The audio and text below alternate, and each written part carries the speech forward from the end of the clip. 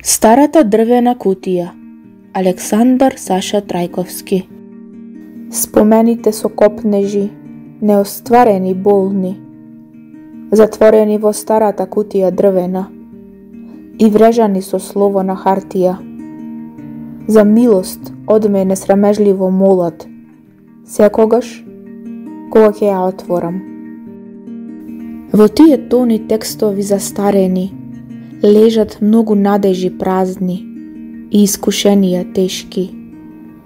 И читајќи ги предпазливо, секогаш се воплотувам во нив, како да ги читам псалмите од книгата Света, или како да отворам вечно затворено скровиште на мудрости животни.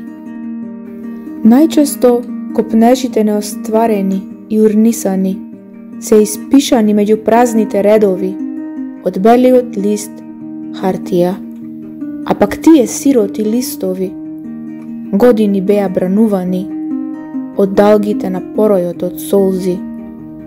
И на вистина, немам доволно мудрост да осознам колку се тие тажни, празни и неважни.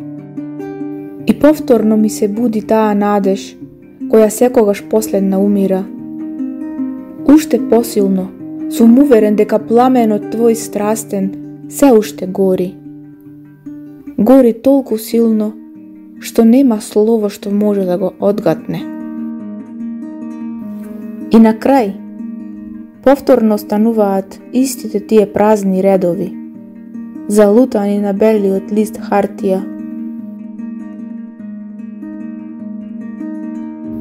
И силно се тешам дека тие писанија, со илузии врежани на листовите хартиени, ке исчезнат ако решам повеќе да не ја отворам кутијата стара дрвена и да ја оставам за вечност затворена.